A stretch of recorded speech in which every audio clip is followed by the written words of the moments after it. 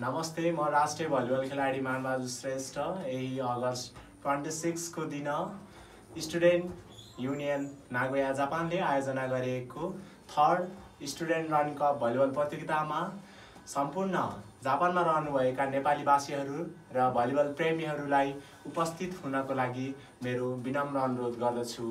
धन्यवाद।